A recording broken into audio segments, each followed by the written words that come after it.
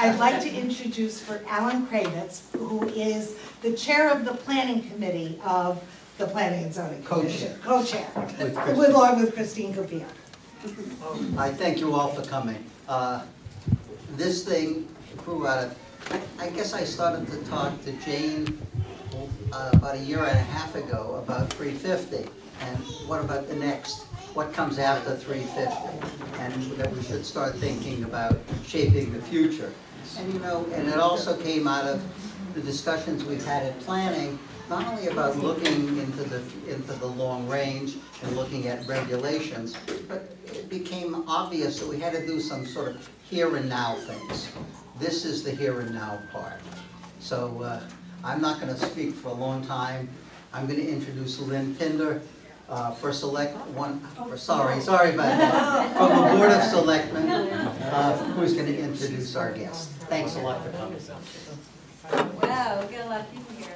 Um, so if anyone doesn't know me, I'm Lynn Pinder, I'm on your board of selectmen. Um, I just wanna thank Alan tonight for putting this together, and I'm sure Christine had something to do with it as well. And really, to all of you for coming out, I see a lot of you who are on volunteer boards and commissions who already give a lot of time in town, um, to come to these types of things, I really appreciate it. Um, I just wanted to introduce, um, Kip, who I haven't met yet. Bergstrom. Um, he's the Deputy Commissioner for the Department of Economic and Community Development.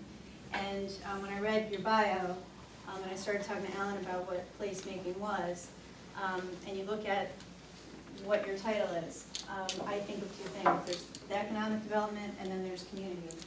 And I know a lot of you are working on economic development in terms of bringing in new business, growing the tax base. These are types of things we've all been talking about. Um, how do we market Unilever property to get a developer in that, that makes sense? How do we get, um, something happened at the old Morgan site? But as Alan just said, and what Jane said to me as I walked in, is what can we do now? And this placemaking, what a great, what a great concept, um, to get all of you together as a community and think about what we can do now. How can we market this town now? How can we brand this town now? And I think, um, Kip, you know, just from what I've read um, about you, what progress and success in the city of Stamford and in Rhode Island, and, you know, with culture and tourism, and just really helping uh, communities to, to brand themselves and, and, you know, bring folks in to see what's great. And I guarantee we've got better folks in Clinton than they had in Stamford, so. um, What you what you learned today, hopefully, um, Get the future governor may be sitting Yeah. here. yeah, so, um, I wish I could stay tonight, um, but I see so many, uh, people that I, I know are so involved in this community, and I know you're gonna learn so much tonight, and I have a feeling I'm gonna be hearing a lot of good stuff out there, and, uh, you know, hear, hear what happened tonight, so have a great night, and it's a real pleasure to have you here, thank you Great. coming. Thanks a lot. Right? Thanks, Lynn. So, uh, I have a little experience in Clinton because um, way back when Clinton was part of the same Senate district as East Hampton. And uh, my wife ran for Senate in 1988, um, and she won Clinton. Uh, Her name was Marilyn Purick, you may remember that name. Uh, It was a 10-town district. She won nine out of the 10 towns and then um, lost by a greater margin in Madison than she won by the other nine towns. And I think she got 49.5% of the vote, so. But we, we spent, um, as you do when you're campaigning, we, spent, we went to every parade, um, every event, every festival. And uh, I was saying to Marilyn earlier today that of all the communities that we discovered during that campaign, I liked Clinton the best. I just liked the people of Clinton the best, so. Uh, your newly appointed first select person is right, the, the people here are better. Um, And I just want to introduce Rod Frantz, who, uh, I was, uh, I met in, well, I'm not sure where I met, but we did some serious damage together in Stamford, uh, before we started working together at the state. Rod runs, uh, our Create Here Now project, which is um, bringing life to empty storefronts in towns and cities around, around the state by repurposing those storefronts with artists or artist uh, or makers, uh, craftsmen of various kinds, uh, and helping those entrepreneurs to become successful enough that they can start paying some rent and then pay market rate and stay where they are. And in the course of doing that, really has developed a network of artists around the state. And one of the things we found is that artists um, are used to thinking of life as a gig. You know, you, you, they're sort of nomadic, and you you can pick up stakes and pop down someplace else. And so, as they start to think of themselves as a network, they're actually willing to come to each other's events and uh, give a place the sense of what it would be like if it was a fully engaged creative place is sort of artificially by having a whole bunch of artists show up from different places in one place. And what we find is that it gives the people in that place a sense of what the future might be, and, and they then redouble their efforts to create that future. And uh, I would say um, one of the key ideas is that places are not so much the stage as the play. It's not so much the buildings as the people. Um, I really believe that. It's very important, all the physical stuff, but it, it really is just the, the stage set for the play that we act upon it. And it's not just the plays today, but it's also the plays that have taken place over time that we remember and inspire us, and the plays that will come after us that will be inspired by what we do today. So uh, the way I think about it is that placemaking is a conversation that takes place in space and time with both our predecessors and our descendants. And we ask ourselves, what will this place look like based on what we leave behind? So we are making a place that in turn makes us in the making of it. So it's a two-directional exercise, and we are, by what we do, inspiring future generations, just as past generations have inspired us. It's a, it's a very deep thing. Um, that great American uh, philosopher, Linda Ronstadt, uh, put it this way, she said, "A- a place is where your soul inhabits the soil. And she said that, at least I heard it quoted in an article in the travel section of the New York Times a couple of months ago. Remember that? A guy was going around with her in the borderlands between uh, southern Arizona and northern, northern Mexico where she grew up, and she had relatives on both sides of the border. And wherever she went with this reporter, there was song and music. And you, you could tell that she and her family were making those places, but that place was definitely making her, making them, making the next generation of her family into singers. Um, so just, just think in your own head right now, what place or places made you? Just think about that. And what was it about that place that en- enabled it to kind of get under your skin and, and form you in a way? You know, it might have been a park. It might have been a certain house. It might have been a family trip to Mesa Verde. That was one of the places that made me. I was so enchanted by it. I was just totally consumed by Indians at the time. I was, I think, six, maybe eight, I forget, six, I think. And I decided that it was never gonna get better than that. That was, that was the best place I was ever gonna be, so I said to my family, they could go on, but I was gonna stay. And, uh, My father actually had to drag me kicking and screaming into the car, and I wouldn't speak for him for, I think, two weeks. Um, So, I mean, places really get to you. And are you lucky enough to live in a place like that now, or work in a place like that now? Um, Next time you're with a group of folks and you can uh, steer the conversation, ask that question of your table mates, what place made you, you will get literally a sense of where they're coming from. And you'll get a deeper window into their soul than you could by asking any other question. I've done it now over the last two or three months, oh, a half dozen times, including with a group of 100 people, where they asked each other that question at tables of eight. And the notes that were taken from those conversations were incredible. Um, So try it sometime. So there's a huge amount to placemaking. And um, I wrote a paper about it that some of you may have read. It's called um, The Power of Place in Connecticut, and it's um, available on our website. You've, Alan's got it, and Send it out. and you've sent it out, so you probably, have, have some of you read that? Okay. Um, and I'm not gonna go through that whole forty-page document, trust me on that. But, uh, there's some ideas there. What I was trying to do in that document, and it's just a piece of placemaking, but by kind of talking about that piece, you'll get a sense of what the fabric is that we're trying to weave, uh, as we make places. And first of all, you know, all placemaking is local. So the state doesn't make places. Only people in local places make places. And we're simply a funder, a convener, a cheerleader, an enabler of your efforts, but all placemaking is local.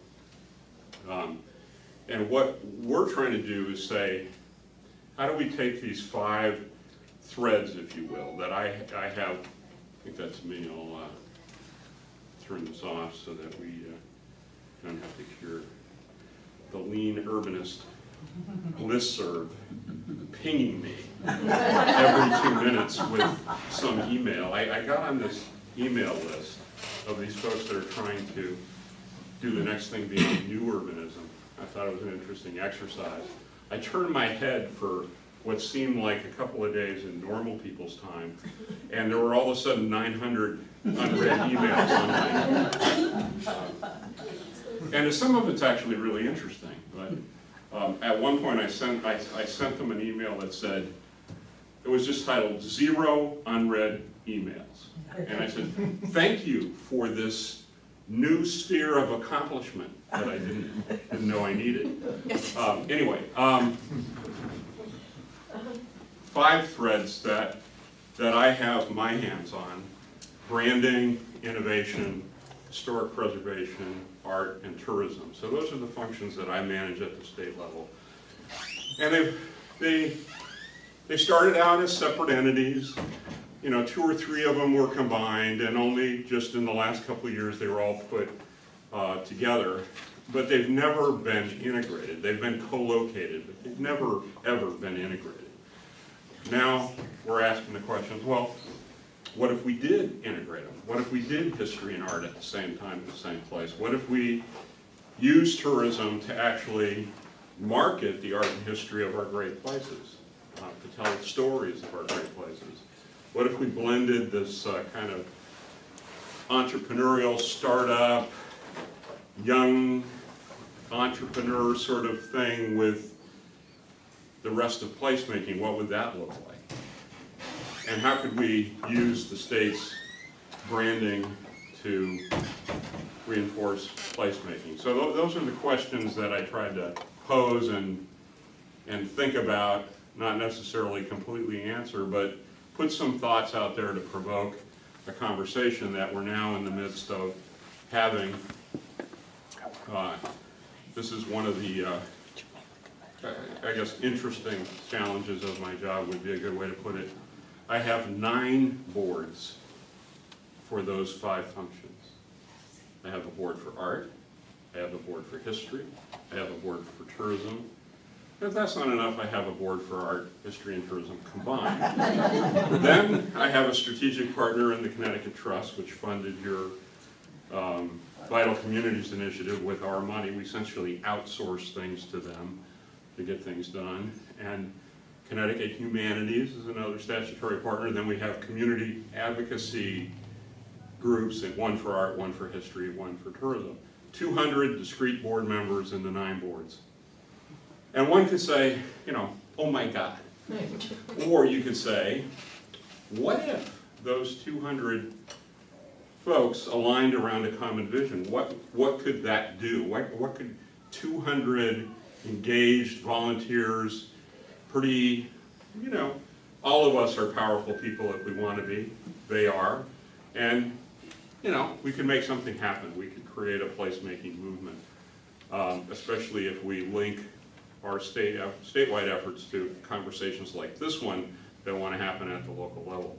And I've actually thought of enlisting um, the libraries as the vehicle by which to take this conversation to the local level and actually had conversation with Ken Wiggins who runs the state library about that topic. So it's kind of fitting that we're having one of these first placemaking conversations in a library. And I'm so encouraged that Clinton seems to have caught, seems to have caught the placemaking bug. We're hopeful that um, many communities will. And the, so we're having this conversation with our boards. We're inviting other folks to be part of it. We've had two convenings. First one at the old State House that was just really asking that question, what place made you? What was it about that time that made that possible? And thinking about that, what are the kind of challenges and opportunities for making places in Connecticut? That was the first conversation. Then we had one in New London that was the stories of our places. We had everybody come prepared to tell a story about a favorite place in Connecticut. Could be where they live, where they worked, or just a favorite place. And we prepped it with some readings and a panel that talked about the incredible origin story of Connecticut and John Winthrop Jr.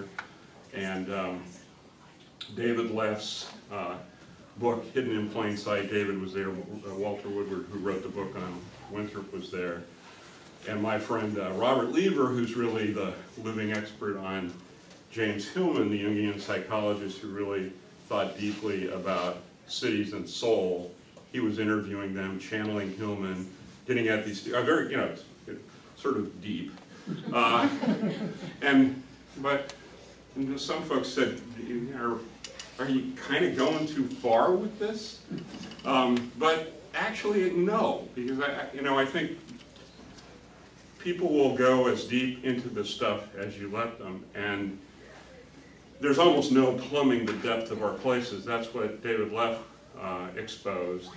I, I got from him this idea that Connecticut at its heart is this um, marriage of nature and culture. And Clinton is a marriage of nature and culture. Now, neither Connecticut nor Clinton have always honored that marriage.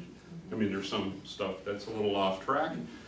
But what, um, what I found that's really interesting is people who want to make an impact on a place, who want to be part of placemaking, who want to leave their mark, adding to the marks of those who've come before us.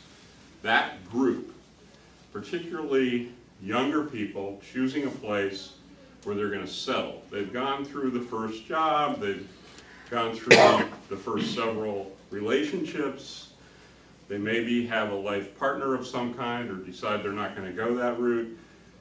And they're looking for a place where they're going to spend most of the rest of their life. And some of those downshift from big cities to smaller places, like our small cities and our, our towns like Clinton. And they, they downshift because they think in a smaller place they can have greater impact.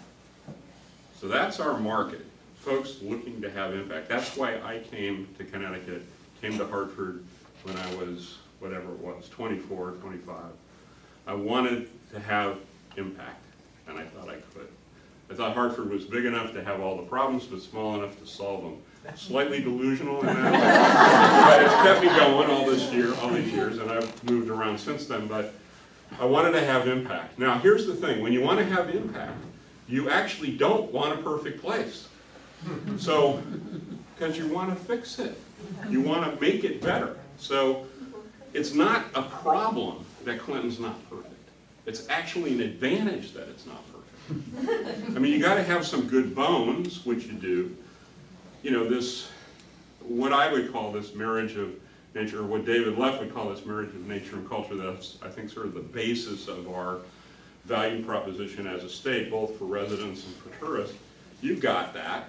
It's not perfect, but you can fix the past mistakes and you can do infill of the kind you're planning to do with the Chesebrough Pond site and make it look like it was all planned that way in the first place. Once it's done, it's gonna be incredible. I mean, you're gonna add stuff to what you have that's gonna create a whole that made us, you know, that, wow, that's what we were doing. Um, So that's, that's not a problem, that's actually an advantage.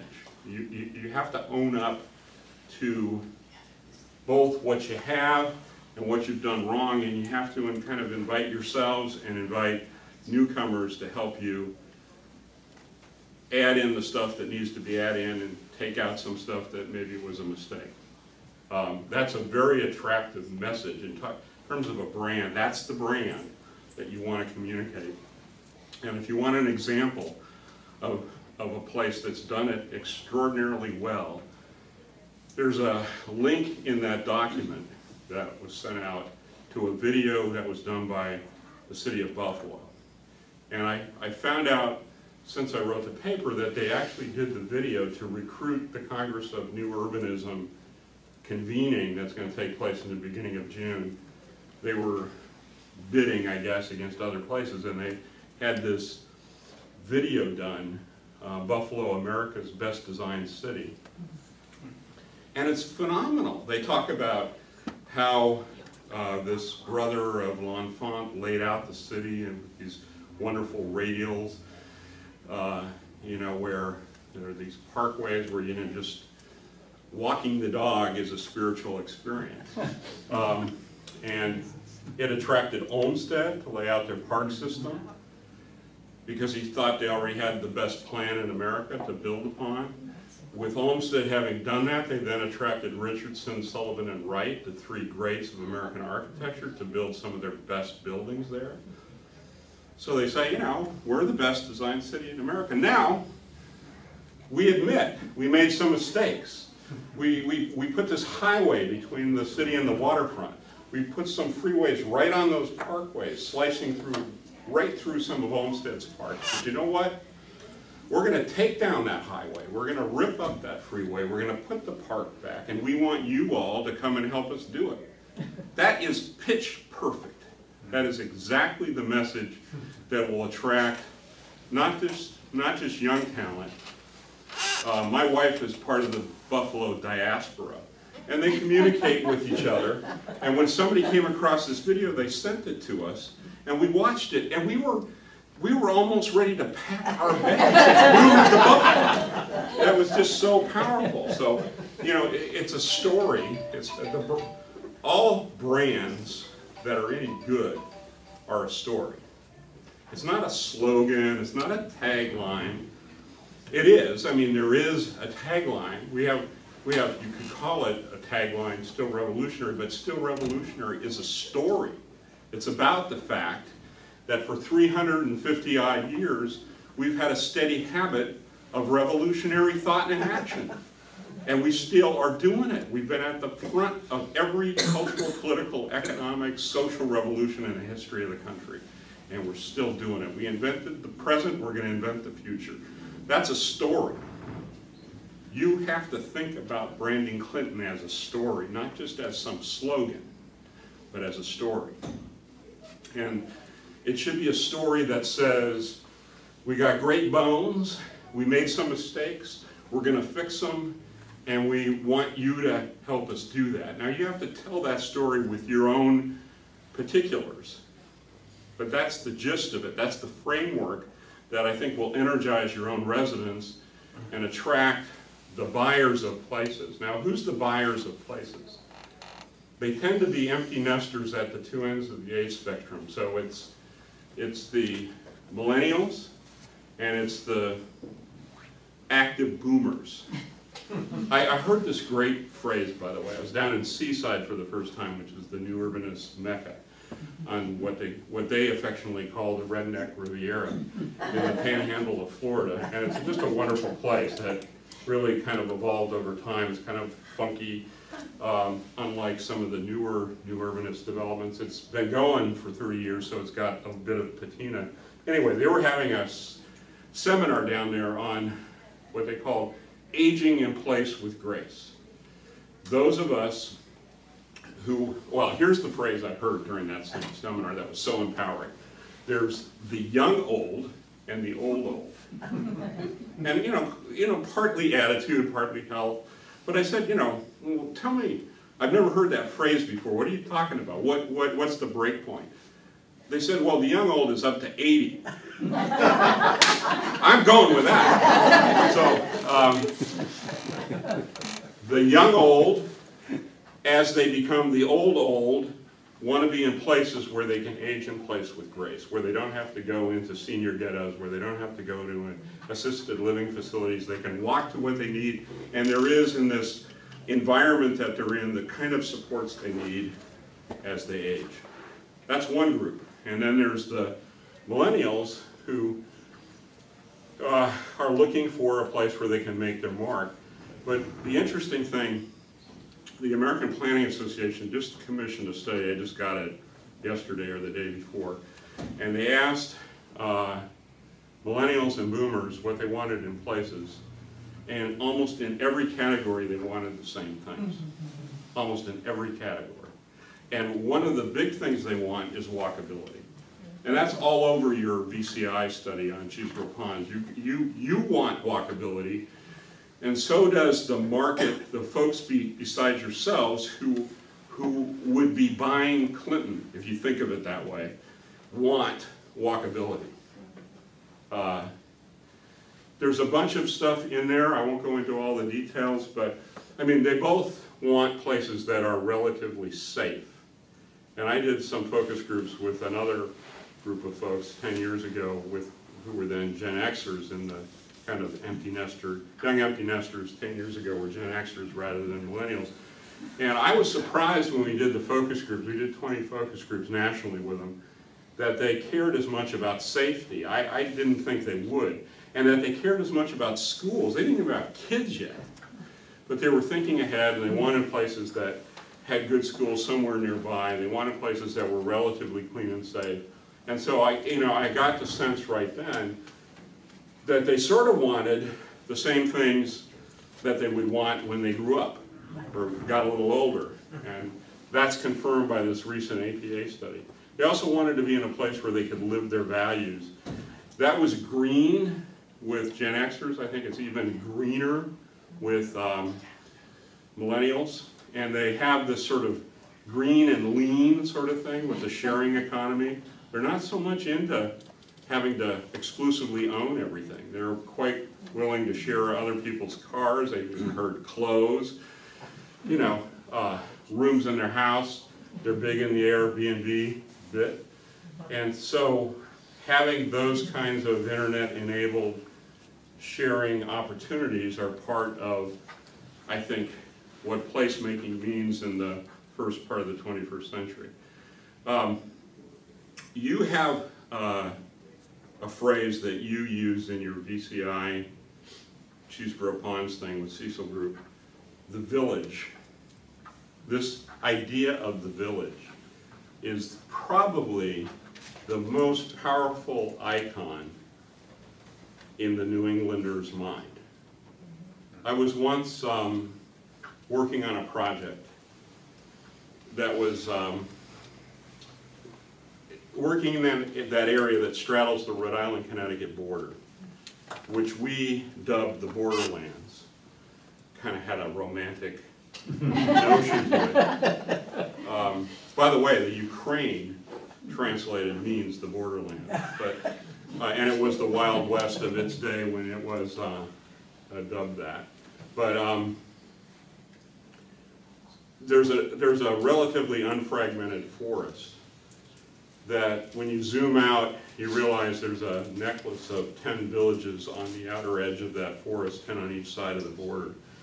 And we got a group, we was, I was running the Economic Policy Council in Rhode Island at the time, and the um, Nature Conservancy, uh, there was a guy who had gone back and forth between Rhode Island and Connecticut, but they had made preserving this forest a priority of theirs, and they kind of convened all the enviros, and I convened the econs. And we got the enviros and the econs at the same time in the same place, somewhere in the borderlands. And at a certain point in one of these workshops, we said, all the enviros over there, all the econs over there, and you come back with the one idea that would maximize your values. And they both came back with the same idea, which was concentrate development in the village. Because by doing that, you save the forest, and by doing that, you create this place of connection at an intimate scale that is what all people, including especially entrepreneurs and innovators crave. We crave a place where we can connect with other people, that we can network with them, that we can develop ideas with them. And so by creating and reinforcing the villages, we protect the forest, but we also create a place of economic and intellectual intensity. Um, you're trying to do that, right? That is exactly the right thing to do. That is probably the single most powerful idea of placemaking is to create villages. You may have one, depending on the size of your community, or you may have multiple ones. They tend to each have a ped shed, is the term, pedestrian shed, of a quarter to a half a mile, depending on how much you want to stretch the definition of how, how far folks will walk, but you can sort of um, think of a place as a set of circles with a quarter mile or half mile radius, and that's, that's the sort of the walking shed for retail in a node. And you can string a number of those together and make a great place of, of walkable villages. Um, that's what the new urbanists have been up to for the last 30 years. And they've, they've, um, they've, they've got some good ideas. They were focused a bit more on greenfields. They're now shifting their focus to in, infield, infill development. You know, filling the spaces that were um, created by obsolete infrastructure, surface parking lots, uh, large manufacturing complexes, our old mills and so forth that aren't any longer valuable in their old form and their opportunities for redevelopment, um, both using some of the existing buildings and in some cases replacing them. Not every building is worth preserving and not every building that's worth preserving needs to be renovated to the rent equivalent of a new building. One of the best things about having a stock of old buildings, it's a reservoir of cheap space. And cheap space is what gives you diversity, diversity of people, diversity of shops, diversity of businesses. When Jane Jacobs, the famous goddess of urbanism, said, new ideas come from old buildings, she wasn't talking about some mystical quality of heritage architecture. She was talking about cheap space. And I keep telling my historic preservation folks in my staff and our allies out there, don't renovate everything. Leave as much of it as you can in as-is condition, make it weather-tight and habitable, but don't increase the cost basis to the point where it crowds out diversity, because that's the advantage we have with all this existing stock of old buildings that places younger than us that are just filled with new stuff don't have. Uh, so those are some opening thoughts. Maybe we could do the rest of this by Q and A, depending on how much time you have. Okay. How much time you have? But I'm happy to answer questions or put some out, other food out there for thought, whatever you want to, wherever you want to go. Questions? Yeah. I'm just curious, you're a professional, and you're a visitor to Clinton, and you've done a little twenty plus years ago. What appeals to you about Clinton, you coming to Clinton? What is it that captures you, or, Well, when I was, when we were doing that campaign, you Uh, said people, but aside from. It was really the people. I, I mean, I, I, you know, the, the, the whole corridor from, from here up till, to um, Middletown on both sides of the river is an extraordinary place, you know, and there's, a lot of it are wonderful places um, physically. I- The the Nature Conservancy calls the Lower Connecticut River one of the 40 last great places in the Western Hemisphere. There's no other one of those 40 in New England. We have the only one. So we, you know, one of the 40 last great places in the Western Hemisphere. And you should just, one of the things I would suggest in terms of your marketing of Clinton from a tourism standpoint is don't limit yourself to what's in Clinton.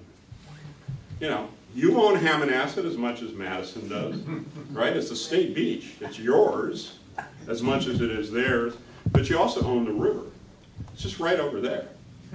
And you own all the river towns, and you own all the coastline, and you own all this stuff, and you can package that up. I know the folks in the RiverCOG are trying to do that, and that's a good idea. We, we're supportive of that. Uh, and, and certainly package everything that you have in Clinton, from art to history to nature. But when I said I particularly like Clinton, what I was talking about from that campaign was one of the things you realize when you do a campaign is you have to build your own political organization because the town committees in each town are useless.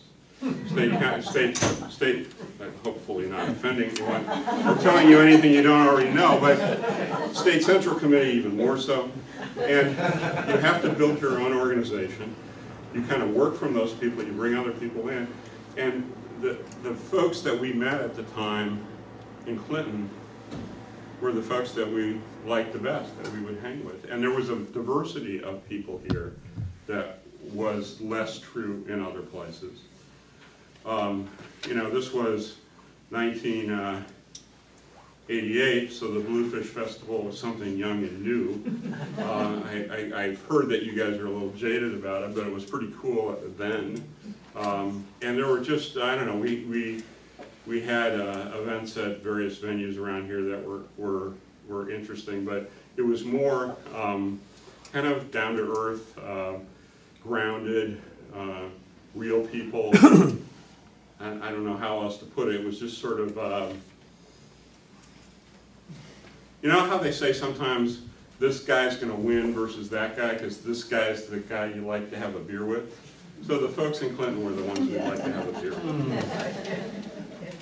So, just on the, on the, on the whole differentiating and building the brand on this thing.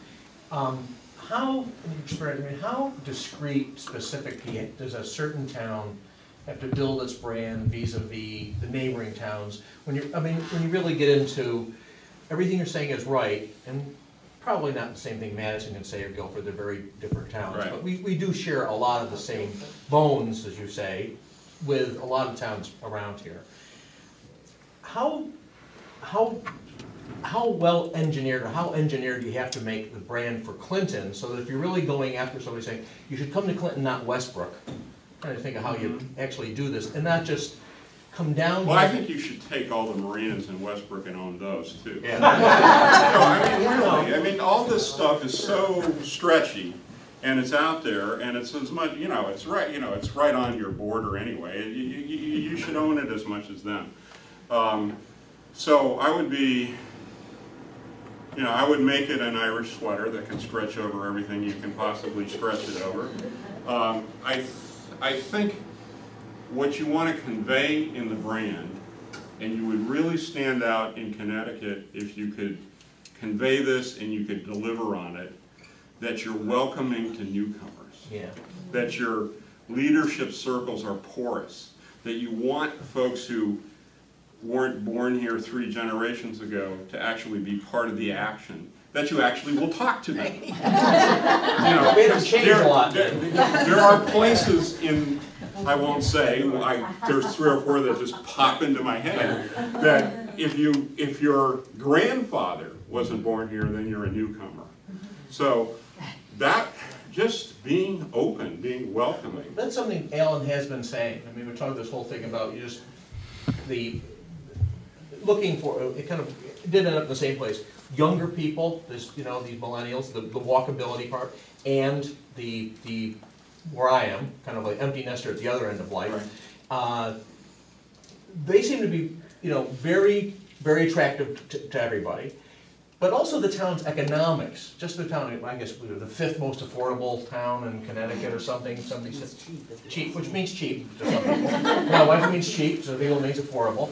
Um, but it is, you know, almost this, this outreach of having people come in that are living in Bridgeport, that are living in New Haven, that wanna buy the first house, we got a lot of them here for sale, I mean, that's Right. an attractive, Yeah, affordability, if you look at that APA study, was, was one of the top two or three. number five or something Yeah. state. So, but I mean, I'm saying in terms of what's the driver in place choice for both millennials and, and, um, and active boomers, affordability was one of the top two or three factors. So I, i- i- if, if you are relatively more affordable than other places in Connecticut, I'd go with that too. That, that's a very strong driver of location. And just a little, my last question, because I'll take a full advantage of your time. We had a line that we, uh, Sandy Luke actually wrote, sitting over there, for the three fifty, and it was three hundred fifty years anchored on the sound.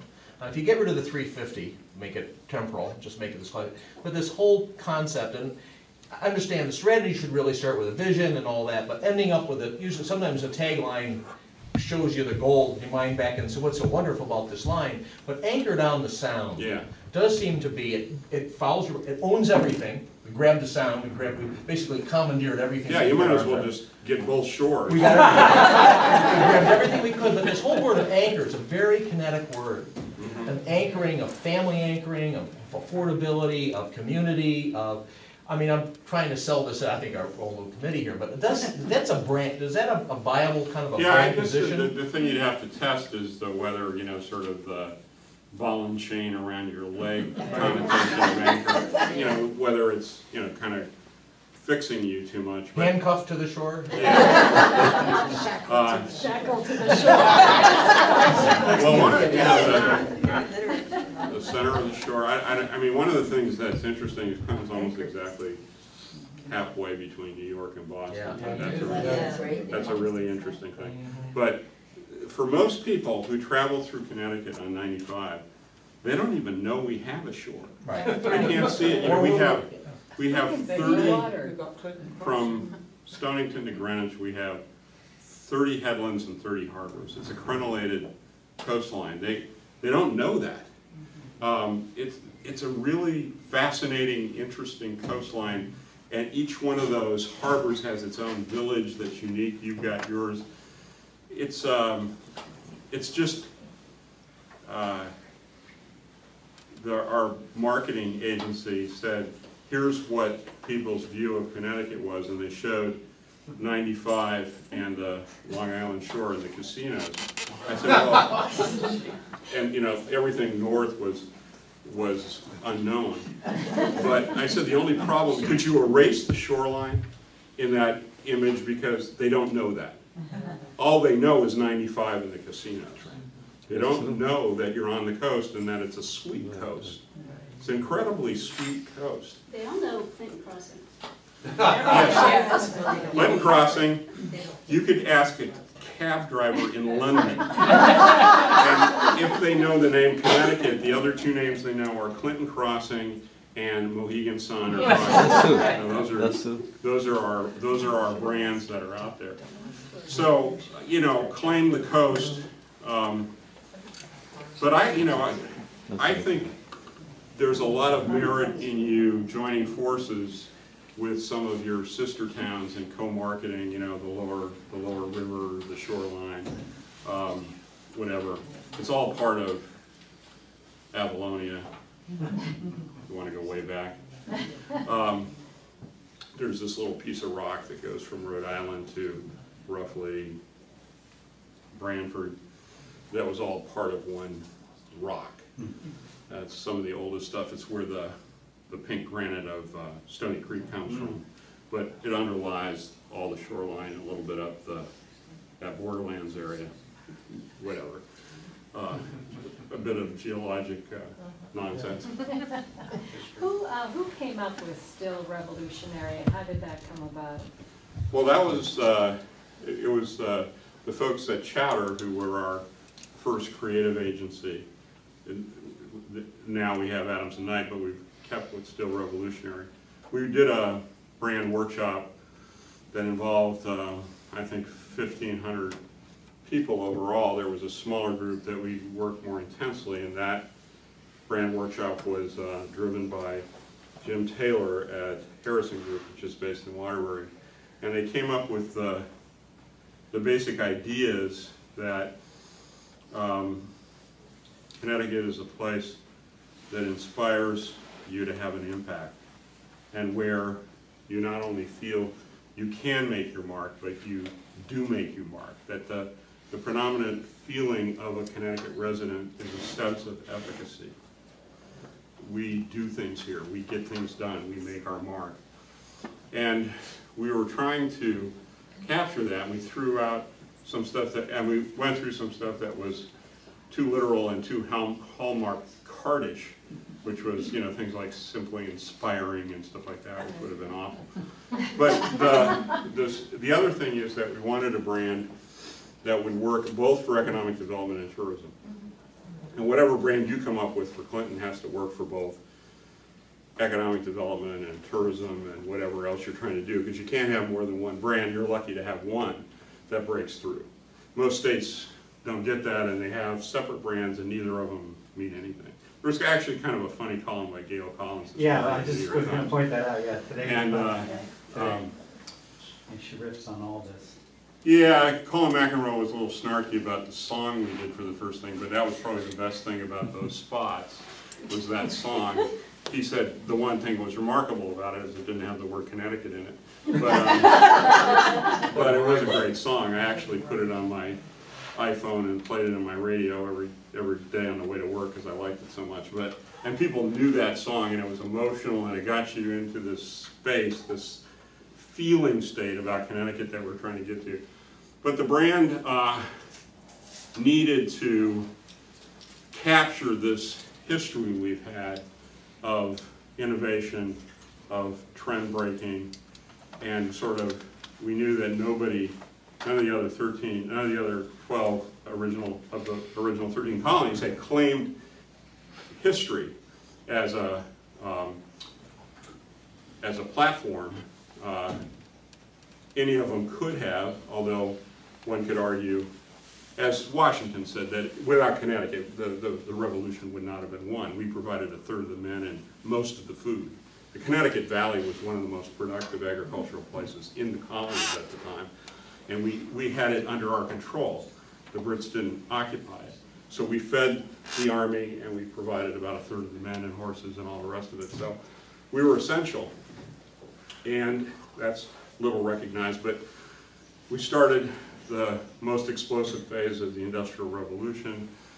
We really accelerated the cause of abolition with the Amistad incident, our finest moment in my view.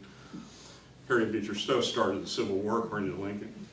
Uh, You know, Griswold started the women's liberation movement and the sexual revolution, you know, in terms of rights to privacy and uh, you could go through, you know, we have the oldest art museum in the country, also the first to stage an exhibit of modern art, sent shock waves through the arts establishment at the times. We have this kind of combination of old and new, of tradition and groundbreaking. And the problem with a, a position based on history is it can seem like you're stuck in the past. But if your history is the history of innovation, then you can get away with it. And that's what we were trying to say, that we were, we were a place that, you know, as I said before, created the present, we're gonna create the future. Most businesses wanna be in a place where you're creating the future. So that works for economic development, but how does that work for tourism? And we struggled with that a little bit, but I think we really got it this time, with this idea of revolutionary thoughts. What a revolutionary thought to go to Connecticut and not just do this, but to also do that.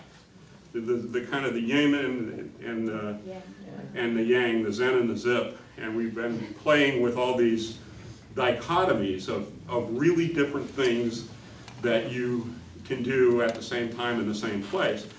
You know, if you're one of those people that have actually more than one interest, fancy that. And what we found is that fifty percent of people plan their trip while they're on their trip. They're calling audibles, they're doing stuff in real time, they're changing their plans, they're adding stuff. And so if you're a place that has a whole bunch of different stuff right next to each other, it really enables that kind of spontaneity. So that's the sort of revolutionary meaning that we're giving the brand in the tourism sector. So now I think it has life in both and the two will reinforce each other. I really, you know, I, I was, uh, one of the final decision makers on which brand we would go with, and we were, they were coming up with these different phrases and stuff, and I kind of said, oh my God, please, no. And they got, came up with this one, I said, yes, that, that one sounds good. Then we, you know, focus group tested it and all, and I, you know, we were getting good feedback on it, but I wanted something more, so I called the focus group leader back and said, ask them which, which of the three they wear on a t-shirt. And it's still revolutionary one, hands down. I, I have several. Wear them whenever I get the least excuse to do so. Um, You know, I, I think it, uh, we, we mean for it not just to be about economic development, not just to be about tourism, but to express the fundamental pride of Connecticut in itself. And one of the things about Connecticut is we're Clintonians, but we're not nutmeggers or Connecticutians. We're, we're very much of one place and not a collective of all those places. And so what we're trying to do is create, in some ways, not just express, but to create a consciousness of the whole. Um, You know, uh, we used to be citizens of our states. When the Union soldiers marched into the Battle of Antietam, they marched into it as citizens of their states. That day, the most horrific carnage in our history made them Americans. They walked away as citizens of a nation. And the citizenry of their stateness, especially for the Union soldiers, diminished. The place came up, the local place came up. So we became Clintonians and Americans and not so much Connecticut residents. So all these years later, now, we're trying to create Connecticut residents, Connecticut pride, a Connecticut identity. And I think it captures it. It captures the best of what we've been and what we aspire to be. And it's not just whatever the one they had, Nebraska nice. Could you live with that? Sort of nice. You know, it's, We have to yeah. Yeah. Oh, you know, sometimes we're nice, but we're always revolutionary. Anyway, So, so all this is really good, but I have no patience. And I think, I think that, and Alan's smiling at me, but, um, I think, you know, you, you can have a, a lot of plans, but people have to see that you can do something. Yep. You know, uh, we can, we can meet, and we can talk about a million things, and oh, this is what we should do here, and this is what we should do there. Somewhere, we have to start placemaking Yep. what's our first step? You know, in my opinion, it's Post Office Square. Um, that is, can, could be the most endearing spot other than the, on the water in Clinton. I mean, right now it's a cut through to Shore TV and Coffee Break. And that's basically, we have a, a psychic, and I'm, I wish they hadn't left, in a crooked house. We have a resort and spa, massage parlor. We have a barber shop. About it. What do we have? A dry cleaners, yep. We had an enchanting little store down at the end, but I guess the rent maybe was, she didn't have enough uh, foot traffic. What can we do? I mean, how do we start? You know, we have all these grand ideas with Unilever and the old Morgan, but, you know, there's people here that want to see something. Where do you start? How do you start? You can start with a single empty storefront. Maybe this is an opportunity for Ron to say something. But when we, when, when we did this program, Create Here Now, um, there's a certain way that we say that, and that is create here now. It's, it's, it's now, not the day after tomorrow, it's now. Because you're never gonna get anywhere until you take that first step. Right. And the first step can be the reactiv- reactivation of a single storefront.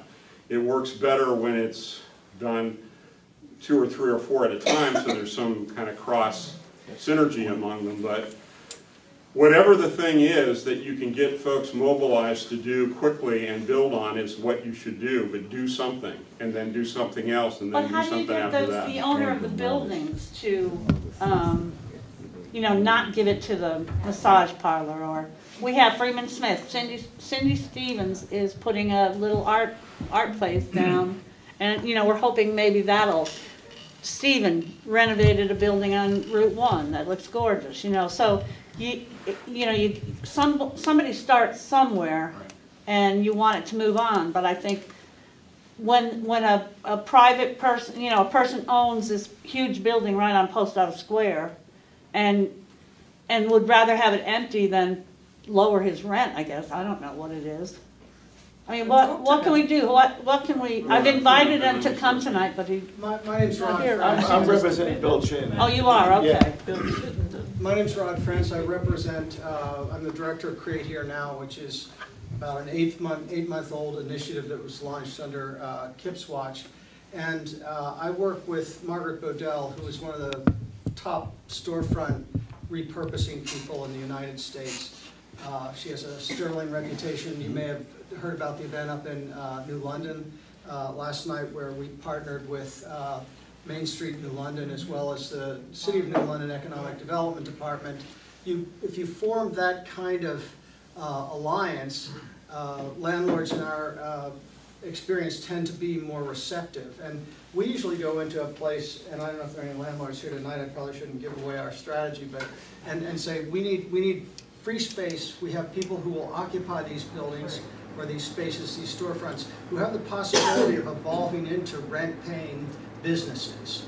And uh, we need, we need four months uh, free, free rent just to allow them to do a little bit of build-out and, uh, and, and get their feet under them.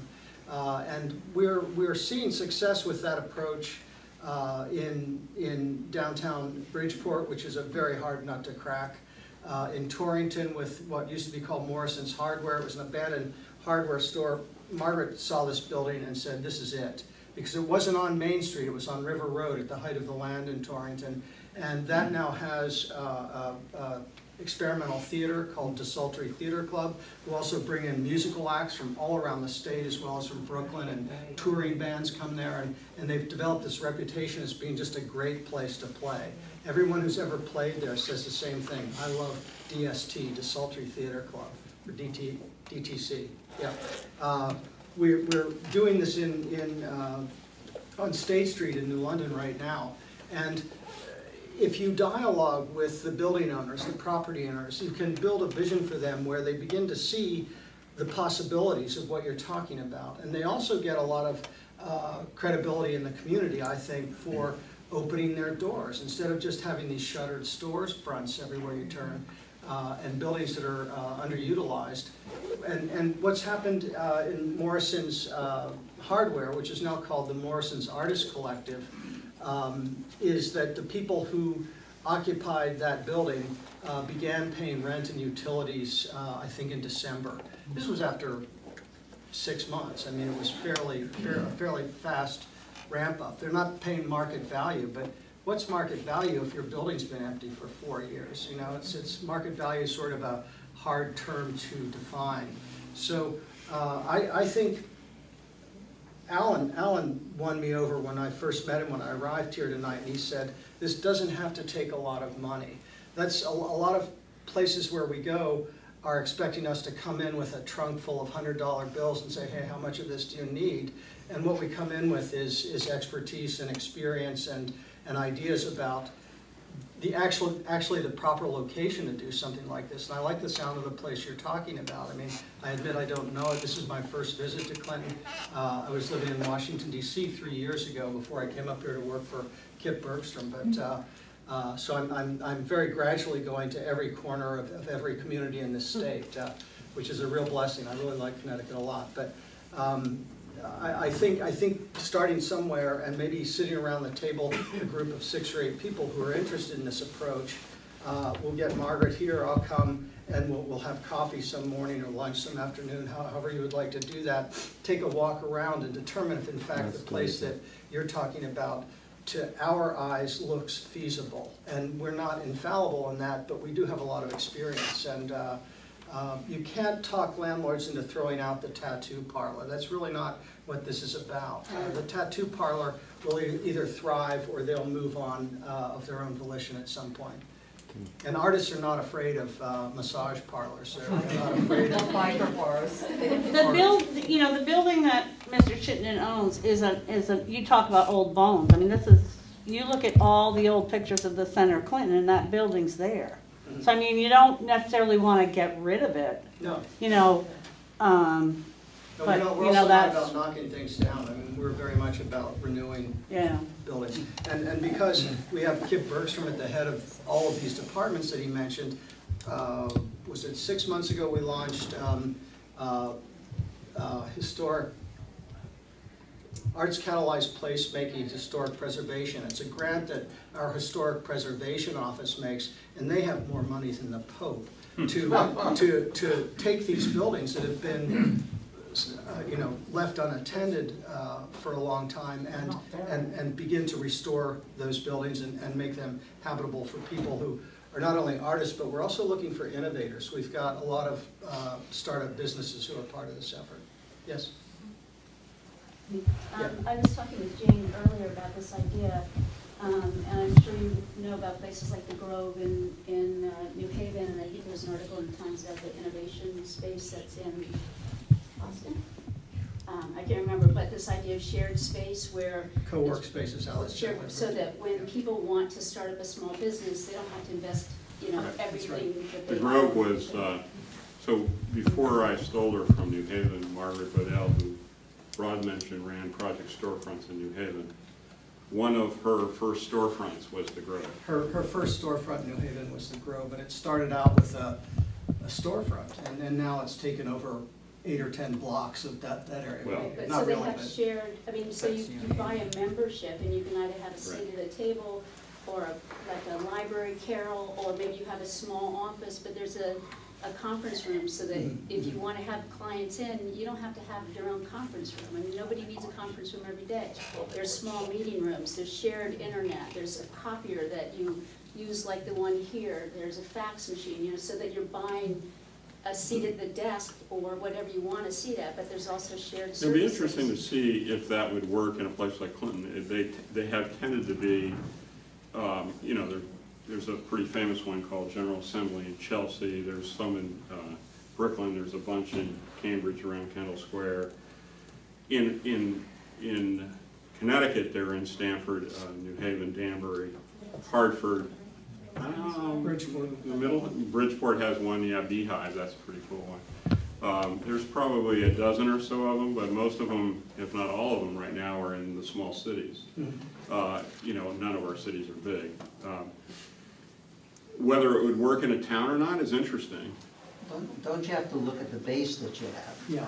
Because there are skill sets that exist in this town, and people struggle to start businesses with those skill sets. So you start with the skill sets. Oh, yeah. a lot of service businesses here, a lot of people with construction skills, maintenance skills.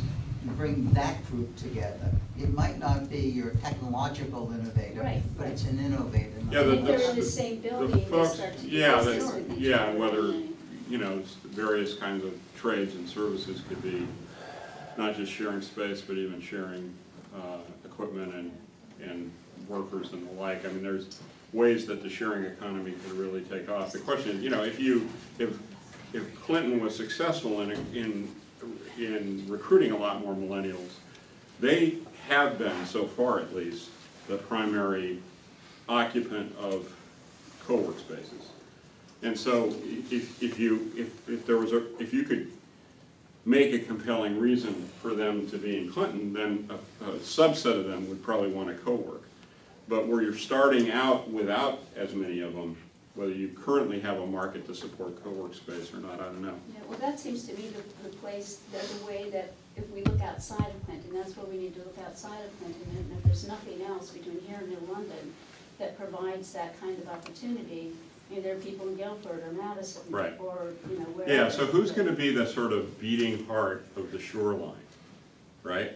Between New Haven and New London? It's kinda up for grabs. There isn't a beating heart right now. You know, I think Old Saybrook wants it. Uh, You may want it. Go for it. You know, Well, It's a different heart. I mean, that's the you can have two hearts, I suppose. Yeah, but, you know, but, but, you know, Old Saybrook wants to be the shopping center still. No, I mean, I was actually talking to the economic development director there, and she's thinking along the- the lines that you just mentioned with co-work space and the text and the millennials and all that, so, I mean, it certainly doesn't, I live in Old Saybrook, so I, it certainly isn't what it is, but it may be at least what she wants it to be. The question is, I, I don't, I don't know of a group like this that's mobilized in Old Saybrook. And it- and if you've got a group of folks that are getting together, partly because of our VCI grant, Brad, see uh, that, that's generated this kind of uh, shared interest in doing something, then you're ahead of the game. That, We do this have- itself is your, is your basic social capital, this group. Because I don't think there is another group like this between New Haven and New London, that I've seen. But what's our next step?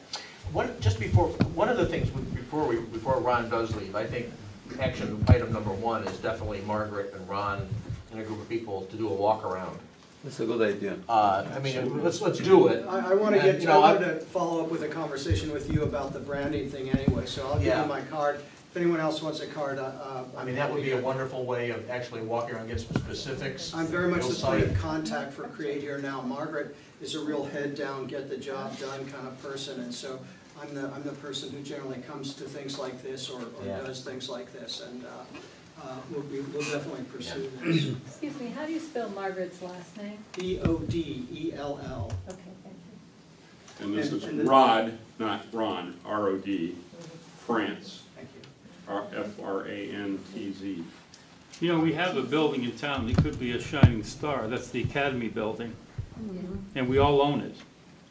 And if you say there's money out there for historical buildings, um, obviously that is one. One And of it's soon, soon to be empty, and it could be, make a perfect artist collective, uh, you know, right on Main Street, what a, what an And it was opportunity. our, it was our town Brad hall, is, the uh, Baptist Brad is church. expert in all of our, Hall. I'm gonna have to take off, but Yeah. Brad has deep knowledge of all of our historic uh, preservation tools and can share those with you. Rod, I don't know if you can stay a little or. I can stay for a while longer. I've got a four-month-old puppy in the back of my Oh. house. I gotta go at some time. Gotta the car. Thanks a lot, it was really good. Thank you.